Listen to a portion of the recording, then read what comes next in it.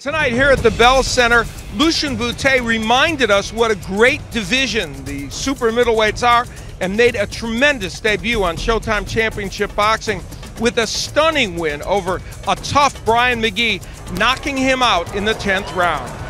In the early rounds, this fight had a lot of give and take. Magee landing some good punches as well as Bute.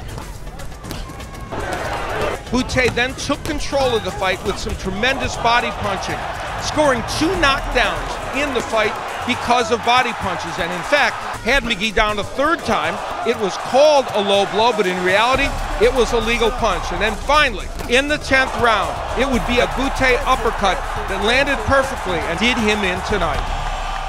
So a big night for Lucian Bute as he defends his super middleweight crown. And Juan Manuel Lopez will try and defend his WBO featherweight crown on our next Showtime Championship Boxing on April 16th in his native Puerto Rico. That should be a good one. And of course, check out sports.sho.com for all the boxing and MMA action on Showtime.